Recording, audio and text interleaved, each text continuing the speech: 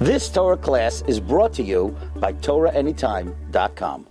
It's of course obvious that if you want to buy a car, the uh, intelligent buyer would not just go into a, a showroom and say, I like that one. It has a sleek look, and uh, just go and kick the tires and smell the leather and say, This one is for me. That's pretty foolish way of buying a car. You know, how much miles to a gallon? Uh, is it going to be easy to park? Is it uh, uh, going to need a lot of uh, service? Uh, what kind of oil is it going to use? I mean, there's all kinds of variables that you have to know in order to be an intelligent purchaser. Uh, picking a, husband, in this case, uh, which is going to define all of your life in this world, uh, whether it's going to define the happiness of your life, the accomplishment of your life, and as Rav Miller says, all of the next world. Because marriage is for all of eternity. That's why Avram and Sarah are buried zugos, and Yitzchak and Rivka and Yaakov and Leah are buried zugos, and Chava in the Marsa Machpelah. Why are they buried as couples? So Miller would always say, because marriage is forever. So an investment forever deserves as much knowledge before you choose as possible. Uh, today's share, uh, in a, a, nutshell, will give you some of the qualities that you should be looking for. Uh, number one, and I really mean to stress number one, it's a deal breaker. It's what uh, Rabbi Yochanan Zakkai, after telling his five Talmidim to look for the most treasured Mida in the world, and this was not just a scavenger hunt, this was not just for color war. I always felt that the purpose of Rabbi Yochanan Zakkai was to teach us what to look for on a date. And that's why he wanted to point out what is the most important Mida, and that is a Leif Tov. Uh, in a word, kind. I always told all my children, I want to know if he or she is kind. If you marry a kind man, you will have a good life. A kind man will take care of you if you have a fever. A kind man will offer to take out of the garbage and not wait to be asked if you had a hard day. A kind man will help you clean the table uh, Friday night when the kids aren't available to do it. A kind hearted man will see that you're sad and try to cheer you up. A kind man will offer to help bring the bags from the car when you go shopping. Right? The, a kind man will tell you, you know what, you look tired I'll take the next feeding from the baby, even though he worked hard that day. Right? So the, you need you need to look for kind, and uh, that's one of the things that you can usually tell. You know, certain things are hard to tell, but even when a boy is on uh, his best behavior on a date, but there's always little things that you could notice to see if uh, if he is kind. And you have to ask about that. Uh, do you find him kind-hearted? Uh, you know, and uh, so that's that has to be first on your radar. And in my opinion, it's a deal breaker. Number two, he should be healthy. That means that if you have everything that it takes, uh, and he's a smoker, so then look elsewhere. Uh, a smoker can very easily leave you a young widow. You'll say, but who's going to marry the smokers? That's not your problem. Same way, it's not your problem who's going to marry a cripple. It's not your problem who's going to marry a smoker. Actually, you might be better off with a cripple. Right? Because a smoker might kill himself, he might kill you with his secondhand smoke, He might kill your children with SID, sudden infant death syndrome. Right? So if you have what it takes, listen, if you have problems, you know, then uh, you might have to take a smoke. But if you have what it takes and he smokes, then look the other way. Get, get somebody else. Rav Miller used to say, go for a walk. Go a healthy 10 blocks with him. And see if after the 10 blocks he's huffing and he's puffing. You know, check it out. You know, what's with him? Right? Health is a very important commodity.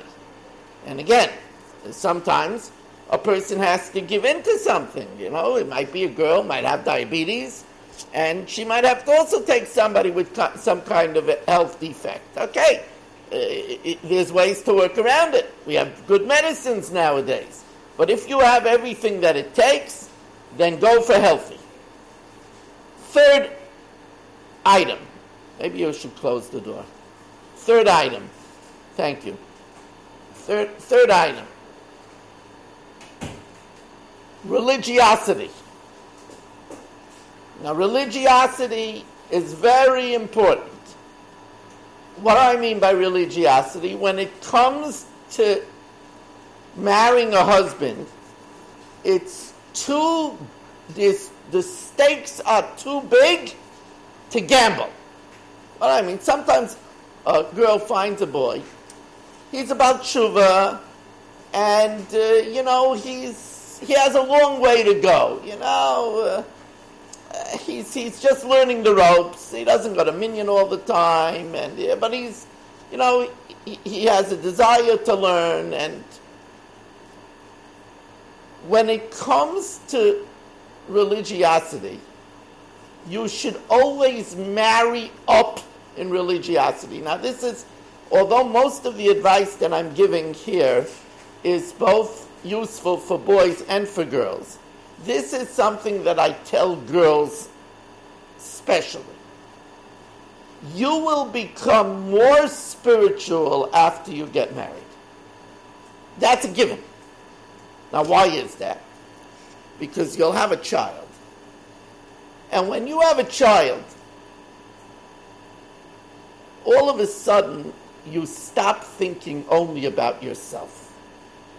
You're not wrapped up in me, myself, and I. You have strong hormones, strong feelings to be concerned about your child. Now remember, for yourself, you have Yetzer Hara. But for your child, you want the best. And all of a sudden, you become much more spiritual. Now, if you're trapped with a husband who is not so spiritual, yeah, you know,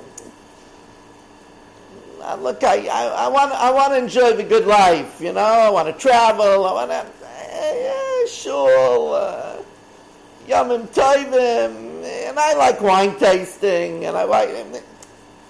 You want somebody that has a strong sense of religion.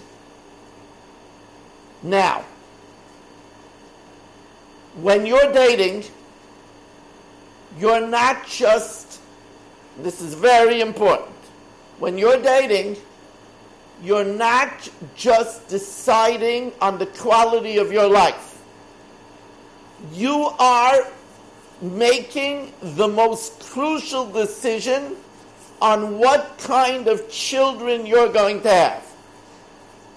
So, for example, the Gemara tells us, "La'olam yidabek adam b'toivim." you should always try to marry into a good family. Because Moshe Rabbeinu married the daughter of Yisro.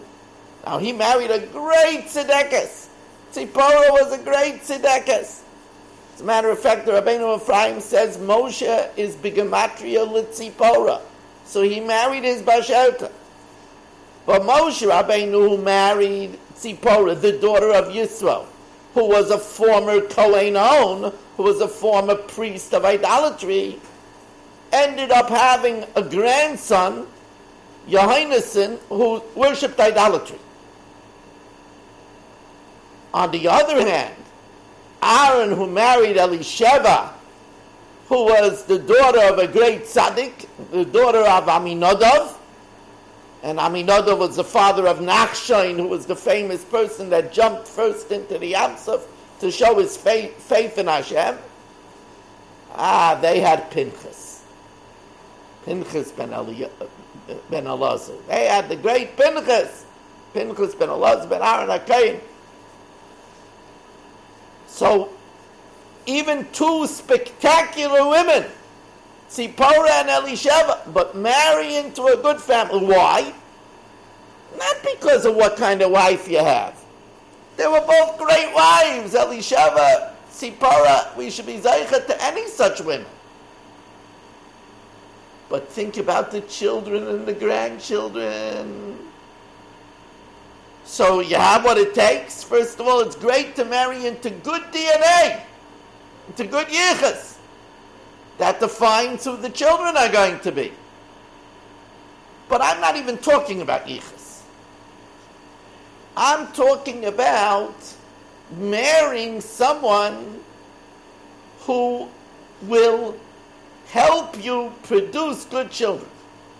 Marry someone whose ideology is that it will be very important to send the children to the best yeshivas and the best Bais Yaakov. It's not going to say, well, we have to think about the cheapest place because it's very expensive. A lot of times people decide for geographical conveniences or financial conveniences to use schools which are not so good. And then their children hang around friends, peers that are not so hot. And that's how children at risk and children that go off the derech a lot of times uh, come about because they went to yeshivas where the peers were not so good. They started hanging around in billiard rooms, and in the back of the billiard room, they were using drugs, and it went from, from bad to worse. All because the father, it wasn't high on the totem pole of his priorities, was much more important to pay $900 a month for a fancy car than $900 a month for the tuition in the better school. So the person that you marry is not only defining your personal happiness, but what kind of children you're going to have. And remember, when you light the Shabbos candles, which is the time that you ask Hashem for what you want, your dreams, you say, you daven that my husband should only have eyes for me, which is very important, especially in today where men are bombarded by uh, all kinds of pictures of women. So a wife davens, my husband should only have eyes for me, and davens for children, Talmidei Chacham. And that's why I always tell the story. A wonderful young lady in my kehillah came to me with a dilemma. What was her dilemma? She wanted to know she's dating a young man who has terrific midas. And she said to me, Rabbi Weiss, you always say kind, kind, kind. I never met such a kind hearted man. But, there's a big but. He told me that learning is not his thing. He's not the bookwormish type. He never enjoyed sitting by a sefer. He says he loves business. He'll support Torah. But, uh, so she said to him, Will you learn every day? Well, if you really want me to, but it's not me. I'm telling you now, it's not me. I'm not the, I'm not the learning type. So she said, Rabbi, Rabbi, what should I do? It, it, it hurts me to give up on such a good guy. But on the other hand, I always wanted a husband that's going to learn Torah. I know that Torah is important. What do you say? So I told her, you know, to be a Zavulun and to support Torah is a great thing. It says that the Badei Ha'orain, the sticks that carry the Aron Kodesh in the Kodesh Kedoshim were never allowed to be removed from the Aron. In other words, when it's housed in the Kodesh Kedoshim, it's with the sticks. Now, if the sticks are only for transport, why does it have to be in the Kodesh Kedoshim? So the answer is, is because the supporters of Torah are also holy of holies. The Zvulans of this world are holy of holies. Smach Zvulun b'tzeisecha v'yisacha ba'alecha mentioned Zvulun before Yisachar, the Shevet of Torah. But I told her you can't expect your children to be more than their father. So if their children come home and your, your husband is reading the daily news or watching something on television or listening to the Met game on the radio, and that's their vision of their father, and Friday night he has a good beer and then just collapses on the, on, on the uh, easy chair, on the lazy boy, and on Sunday he goes out to play ball and golf, and you can't expect them to have a life of Torah. It's going to define who your children are. Is that what you want? She married a Ben Torah and she didn't marry that person. But that's important to keep in mind that who you marry is not just for you to be comfortable and for you to be happy, but you also have to realize the variable that you're marrying somebody who is going to have a big impact on who all your future generations are going to be. Let's move on. Next variable. Again, very important. Money. Money. Money makes the world go round. Right? So the first thing is does he have a job? Is he is he busy? You see, the Gemara tells us in Masechtas uh, Ksuvas, Habatola mevia lidei shi'amon. Idleness leads to depression. Now, actually, the Gemara points this out in regards to a woman. It says that if a woman is wealthy and she brings in, even if she brings in a hundred servants into the marriage, she comes from the Rothschild family, and she brings with her a flock of a hundred servants. The husband could still insist that she do certain amount of work. Because if she's idle, it leads to depression, or habatola mevia de zima, it leads to immorality. When there's a vacuum, so either a person becomes depressed, or it could lead to immorality. And this is true for a man as well. A man has to be busy. Rav Miller used to say, if there was a shalom bayis problem, the first thing you checked out on is the husband working. Because if the husband is not working, first of all, he's home too much. He's home too much, he's spending too much time around his wife. Too much time is no good because then he's going to find out all of her chesroinus. He's going to find she's pretty ordinary. It's, a, it's, it's, it's absence makes the heart grow fonder. It's not good to be on top of a wife all the time. But number two, if he's not gainfully employed, we were put in this world to do, like it says in Kiddush, Asher Elokim lasais. Hashem created that we should be productive. Asher Elokim lasais, to do. A person that's not productive is not fulfilled. If they're not fulfilled, if they're not happy with themselves, they're not going to treat you nicely. They're not going to be happy with your success because they're not, they're not feeling good about themselves. Hurt people, hurt people. But it's more than that. In our society, especially, you need to have money. You need to pay a mortgage or rent. You need to pay Con Edison. You need to pay National Grid. You need to have a medical policy. You have to make money and it says, Hanoisen Gevulech Shalom, Chelev Chitim Yazbiach. If there is Chelev Chitim, Yazbiach, if there is the cream of wheat to keep you satisfied, then there's the board in your border's piece. Or like the Gemara in Bava Metzia tells us, if the cookie jar is empty, then fights start. If there's no money in the house, then there's tension. So therefore, the person that you marry has to be gainfully employed. Now, what about learning? Well, learning is also gainfully employed. At that, you don't have the problem. Is, uh, to the contrary, his mind is busy. He's fulfilled. How are you going to make a living? Oh, that needs to be discussed.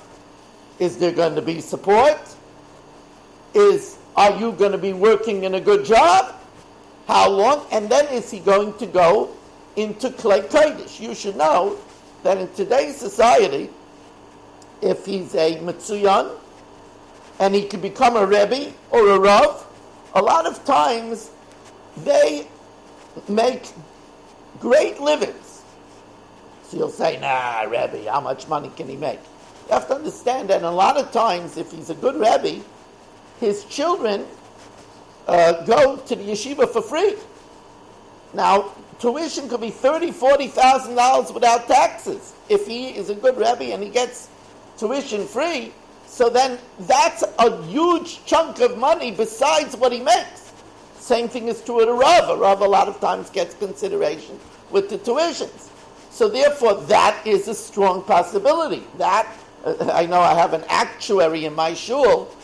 Uh, he's an actuary. She is a, a special ed, and they barely make it. And he told me that if he would have to do it again, he loves to learn.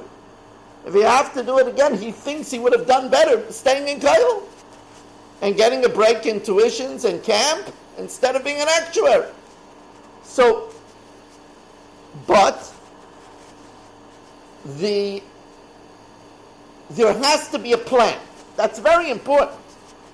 Now, Rav Miller used to say, if he tells you, "Yeah, I'm going to be a writer," writer is pie in the sky. You know, he says. Rav Miller says, "Tell him, show me your first bestseller, and then we'll talk about it."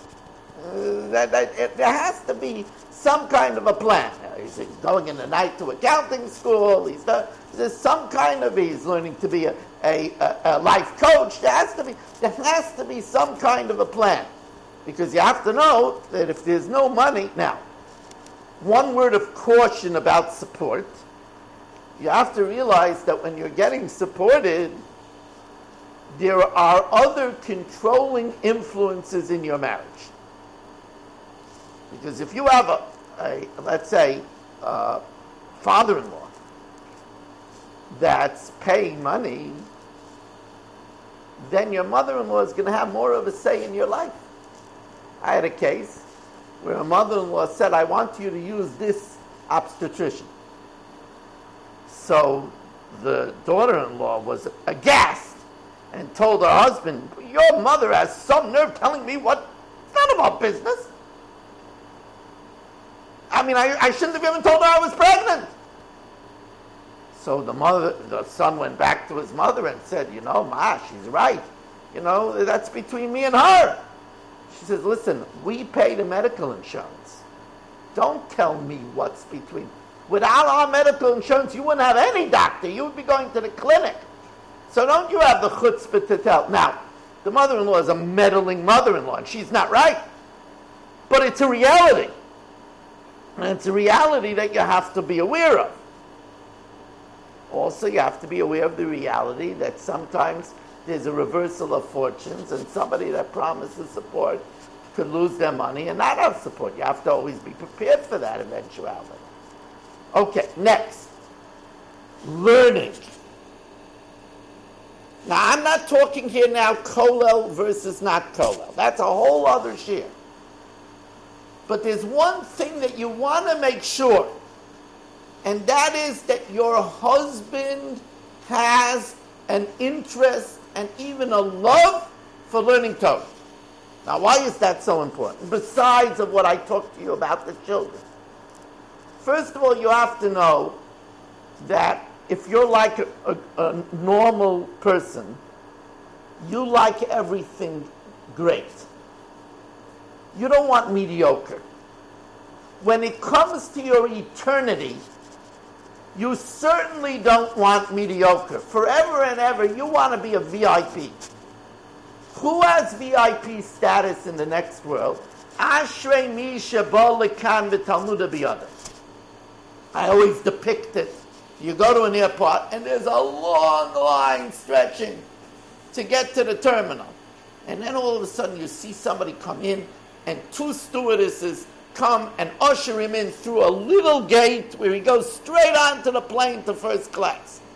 You say, oh, that must be a big diplomat, diplomatic immunity.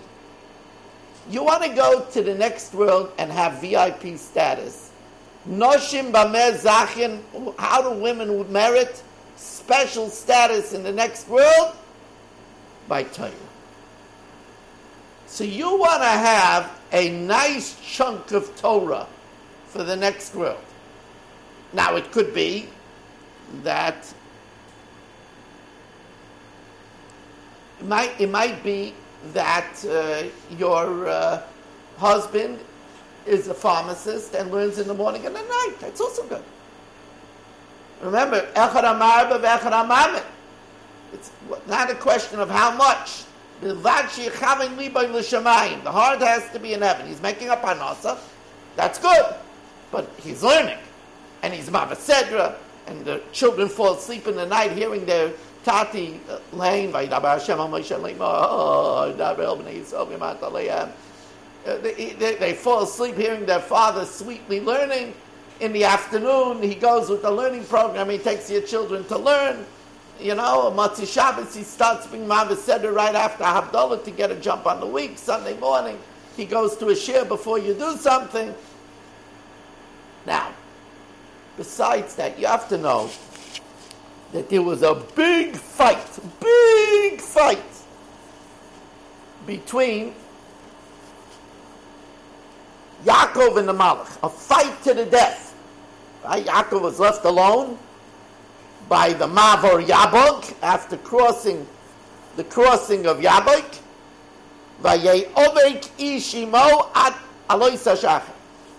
And a man wrestled with him until dawn. A fight like no other. A fight not like with Muhammad Ali or Mike Tyson this was a fight to the death because we're told that that ish was Samuel. Or the Hasidim don't even pronounce it, they say Samkel. Samuel is the Malchamovas. That's a Samuel, Samkel, the poison of God. And he came to take Yaakov. It was a fight to the death. Vayar kilo yachalai. And he saw that he couldn't prevail over him. This is a huge part of the Torah. Because the Torah is telling us how to keep the Malach HaMovis at bay, how to keep them away. And the key is not Avram, it's not Yitzchak, it's Yaakov. Yaakov was what? Yaakov Ishtam Yoishev Holim. Yaakov Ishtam, the perfect man, sitting in the tents. What does that mean? Tents. He had a house in Borough Park, and he had a house in the Hamptons? No. Yaakov Ishtom Yoishay Vayoholim means that he sat in the tents of Shem Ve'ever.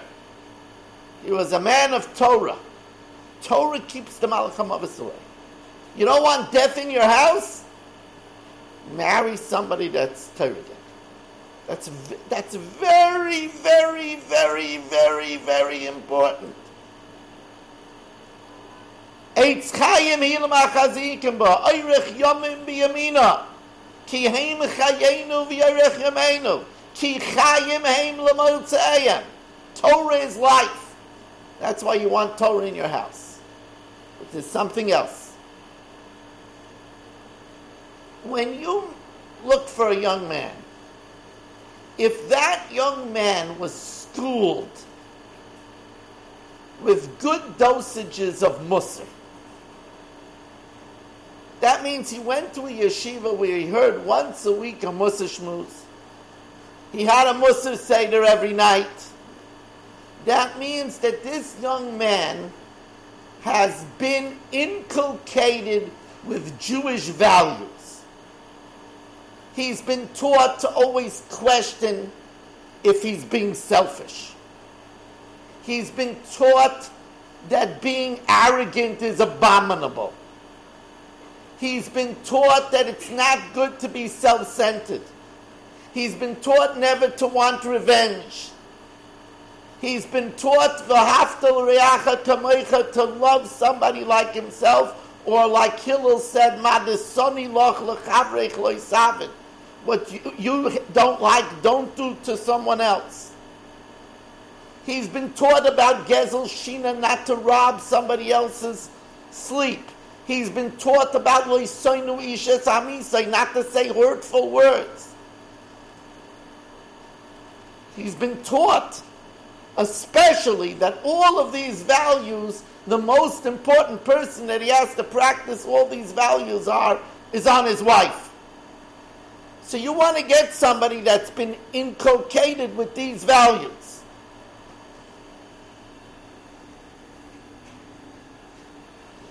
Also, Torah is the passport for Tchias HaMeis. Tal orois talecha. The dew of light is your dew. Vakitzoisa, when you awaken after the resurrection, he said, that will be your speech. You want to have somebody that has a passport, not to go to Milan, not to go to Eretz Israel, not to go to Florida, but to go to the next world. Torah is the passport for the resurrection, for. Next, temperament. Temperament. Rabbi Yehuda Chosid, the Sefer Hasidim, says that if a young man has a temper, it's a deal breaker. Like I heard from women who talked to me about Shalom Bayis, they told me plaintively, how could I love a man when I don't know when he's going to go off in a tantrum next and start screaming and using not nice words and even threatening to raise a hand me. How could I love such a man? Now, this is hard to, this is one of those things that are really hard to know because the person is on their best behavior during a date. And uh, sometimes, unless you get lucky and he has a flat tire and you see how he reacts, I know some shidduchim. I know one case, the uh, young woman dated him 11 times and was about to get married. He had a flat and he started cursing and screaming. And she saw his temper. And she said, This is not for me she was saved. One of the things you have to do is when your parents or whoever you have check out, you, and by the way, you get references, it's good to try to check out not from the references, because the references just say nice things. That's why they're the references. Uh, you should try to find out other friends and ask, is he excitable? Excitable. You don't say, is he a madman? Nobody's going to say he's a madman. Nobody wants to kill a shidduch. Nobody's going to say he has a bad temper. Find out, is he an excitable type? And he says, yeah, yeah, he gets excited. You already have to. That, that, by the way, that's a very big thing in checking out a shidduch. If you want to hear the truth, you have to make both sides sound okay because otherwise nobody wants to say bad. So when you want to know if the person enjoys their learning, you know, you have to realize that nowadays a lot of boys sit and learn because it's the easiest route. If they sit and learn, they, they could get all the girls to run after them and they could ask for some support. So, and they don't have to study in college, they don't have to take tests, they can just sit back in yeshiva, in the dormitory, drink coffee, and it's the easiest way. But if the boy is not really enjoying their learning, and when you marry them, they're not going to be very happy. You want to know, even if you marry a learning boy, you want to know if he's happy in his learning.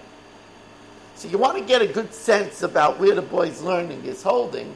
You call up the mashgiach and you ask the mashgiach, tell me, in five years from now, do you see him as maybe a rebbe in yeshiva or a crackerjack New York life salesman?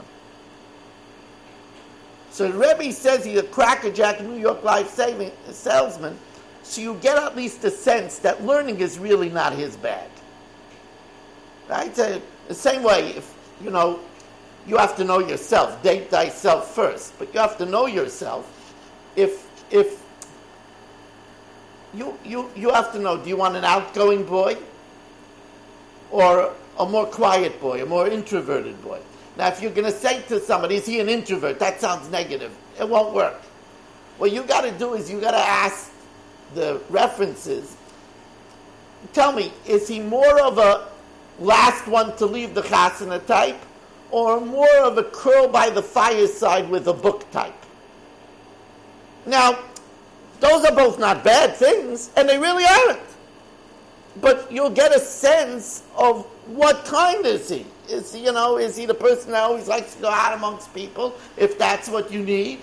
Always wants guests over, or is he more of a quiet, cozy, let's enjoy each other's company and curl up for the night type? You know, you want to know, you, you want you want to get an idea of who he is, but don't use negatives when you ask the questions, because if you use negatives when you ask the questions, you're not going you're not going to hear the truth. But if the person has a temper, I don't care. He could have a lot of other good milas. It's a deal breaker. Head for the hills. Next thing. How he spends his money. That's a very big thing. Is he cheap? Rav Miller says cheapness is a deal breaker. If he's cheap, it's very hard to live with a cheap person. You know, you know, if you get me some a dishwasher, it'd make life a lot. My mother didn't have a dishwasher. She never had a dishwasher. You don't need a dishwasher. Now, this is something you could check out on a date. The girl told me she went on a date. It was a freezing cold night. There was some ice on the ground. She was wearing high heels.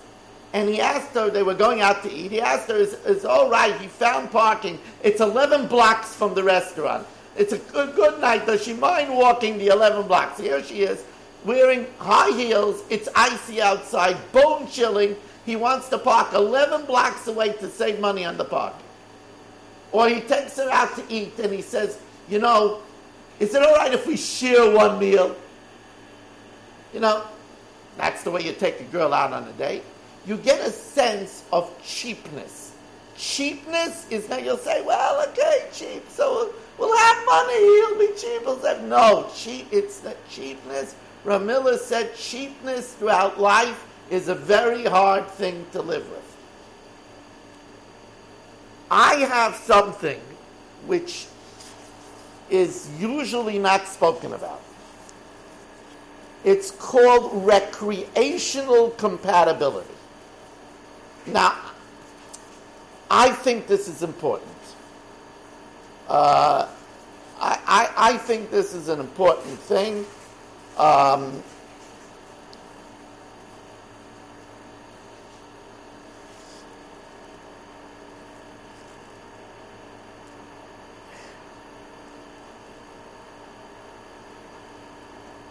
recreational compatibility is that you should enjoy to do certain things together. You see, they did a poll of 90,000 families in the 90s. It's scary because in the 90s, that's already 27 years ago, the, 1990, the early 90s, about how much time a husband and wife with two children spent alone together a week outside of the bedroom. Alone time. The national average of 90,000 couples was 19 minutes a week. Not a day, a week. How are you supposed to bond and have a special relationship if you don't spend time together? I found that couples that had common interests bond better. It could be that they like to do the crossword puzzle together. It could be that they enjoy shopping for antiques together. It could be that they love to fly kites together, play chess, Scrabble, cook, run, jog, sail, fish, shop. But recreation, now this is not a deal breaker. There are couples that love to watch TorahAnytime.com together. But recreational compatibility is a very big aid to marriage because it helps you bond and become a stronger couple.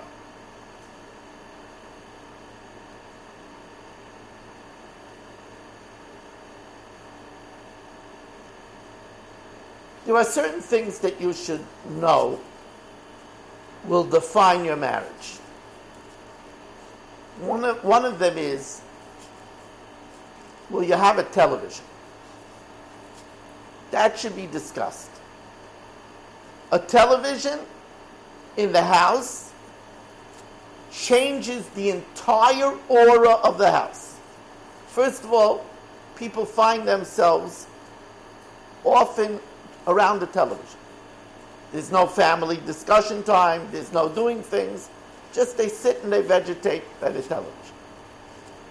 Also, your husband will be constantly bombarded by watching females who have been coached, make-upped, hair-dressed to be looking seductive, pleasing. They make the right facial expressions.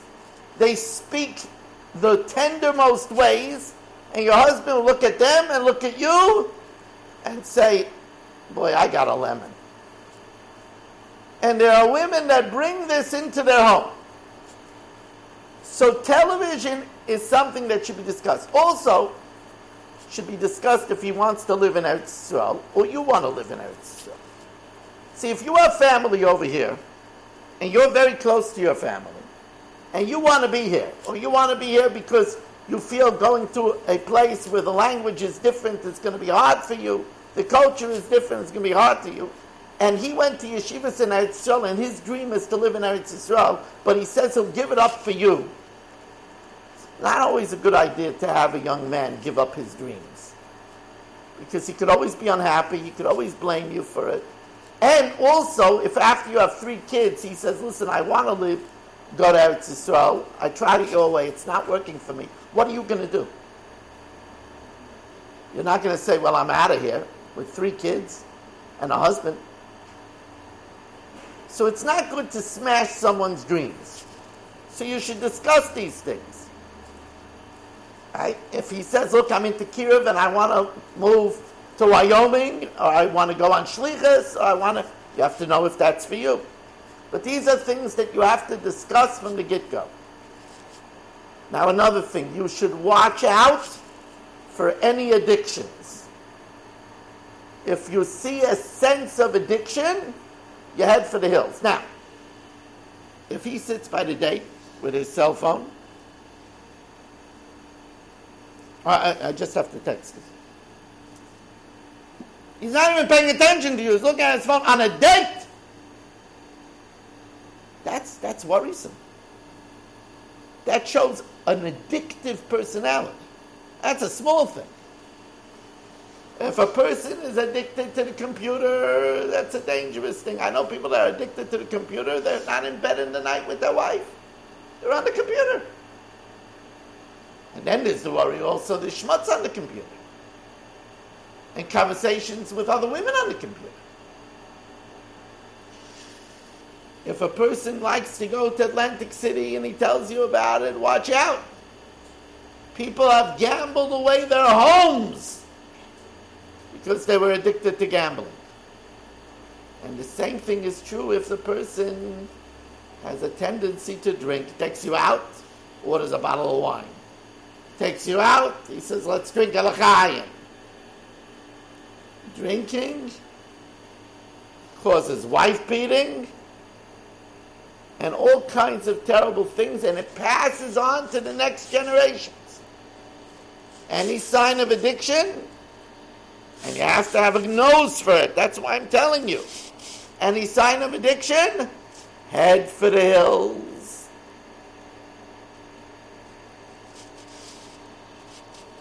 Now, if you have a good date, you liked him. He said no. First of all, be happy. It wasn't your bashert. But besides that, you had a good date. The first thing you should do is think which one of your friends he would be good for.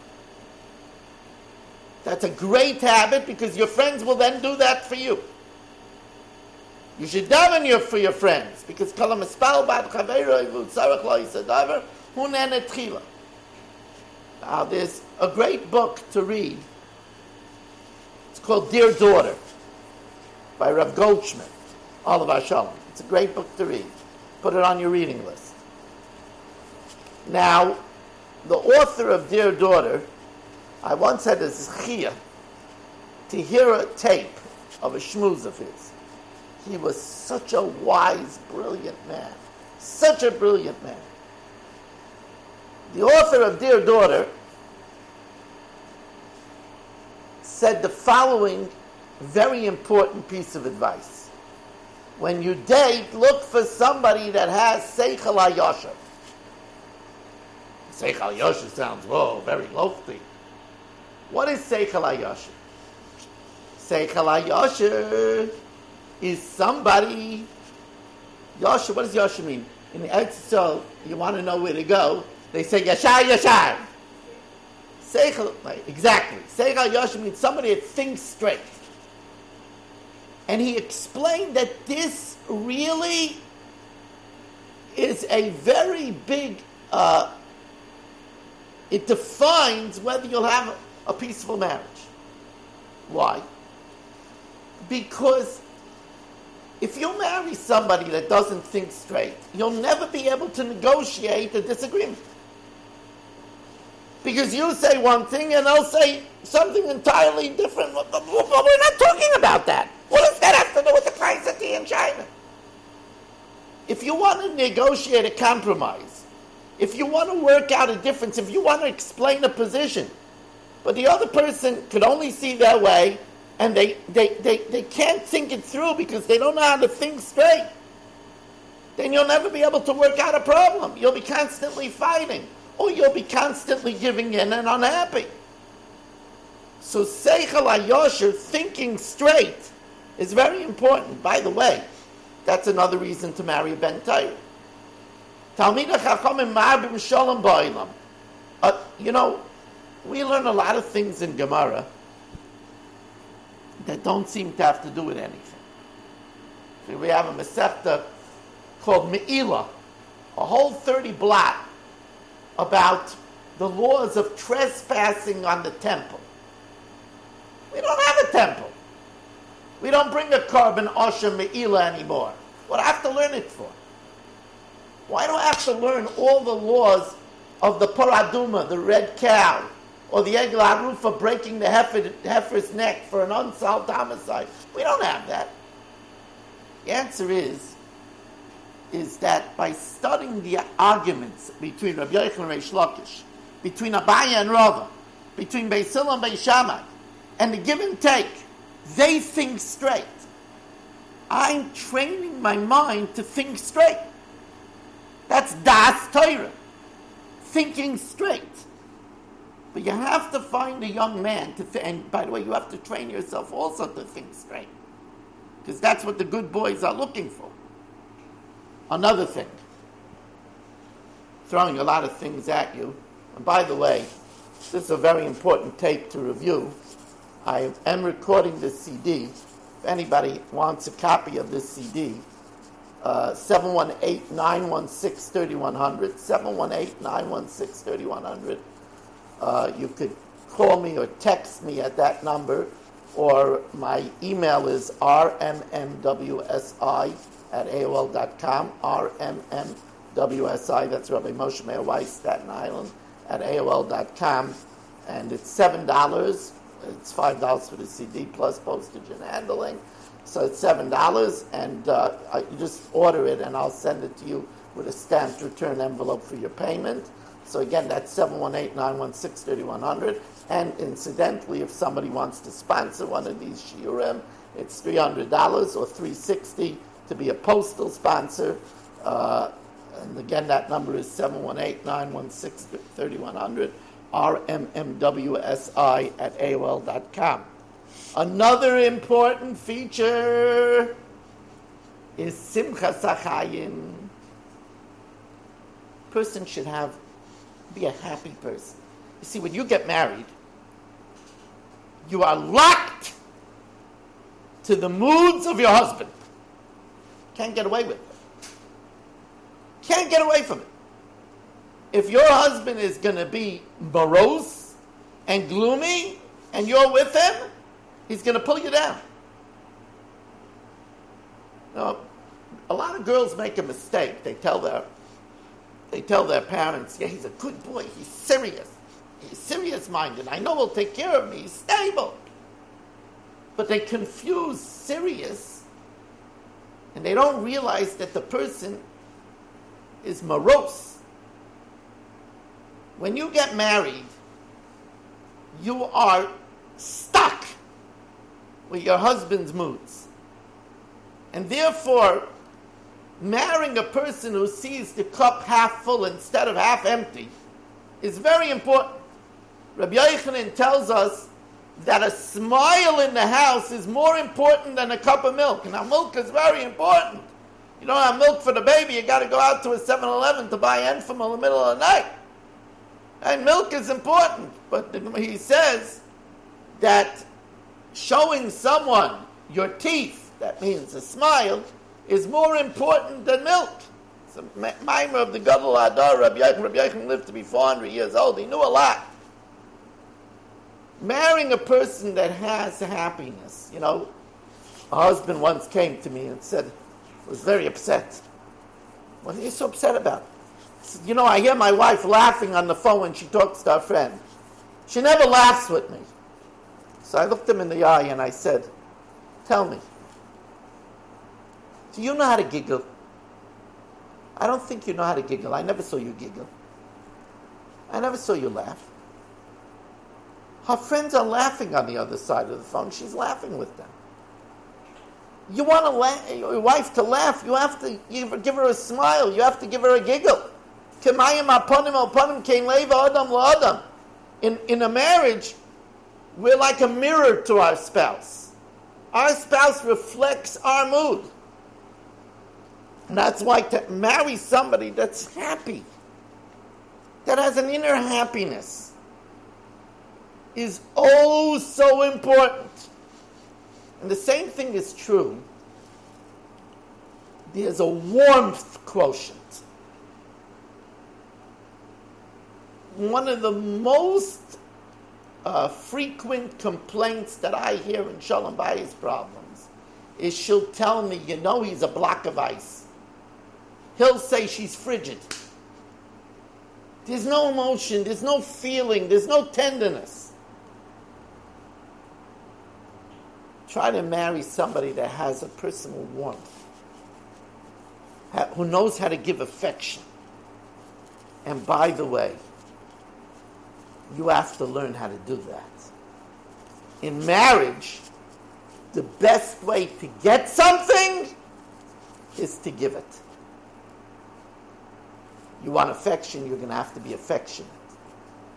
You want patience, you're going to have to learn to be patient. You want him to put you first, then you're going to have to know how to put him first.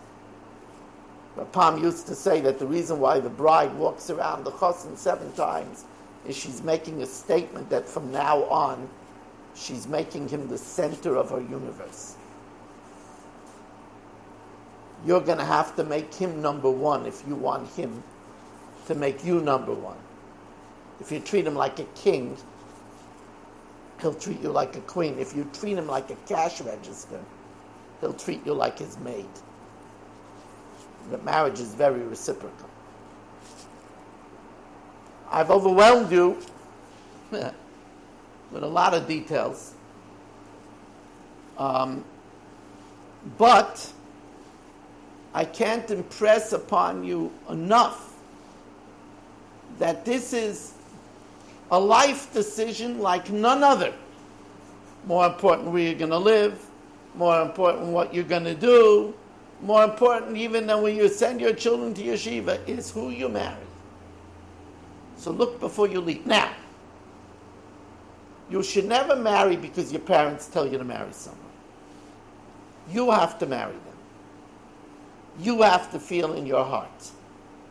But if your parents tell you not to marry someone, then listen with both ears. Remember, you're biased. You might have a physical attraction, you might be infatuated, you might be frustrated. They have more experience. I always tell my children, I will never tell you who to marry. But you better listen to me and mommy if we tell you not to marry someone. That's a big yesod. Daven for a good shidduch. Take advice. If not your parents and not a Bubby and Zaidi, then a Rav, a mentor that you could go to and say, you know, this is bothering me. Is this something I should be bothered with or not? Discuss of us learning of what to look for and wanting to do the right thing. May Hashem bless you all and all those that are listening or watching with the Zivig Hagen, with the proper Zivig, quickly and easily. Remember, we all have a Zivig that's assigned from us in heaven. We just have to do the proper Ishtadlis. Do not do not fall into the pitfall of saying, well, maybe there's something better out there.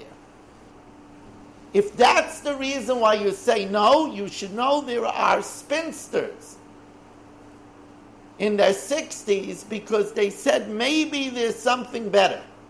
That's not a reason to say no to a shidduch. Keep an open mind. Sometimes there is a flaw. My youngest daughter, wonderful girl, Metalamaylas, took a young man that has hearing aids in both his ears. But she looked past that because he was an incredible Ben Torah. He came from an incredible family. He was an incredible Baal Middos. He was handsome. So he has two hearing aids. She's deliriously happy. He's wonderful to her. You have to keep an open mind. Sometimes there could be a wrinkle.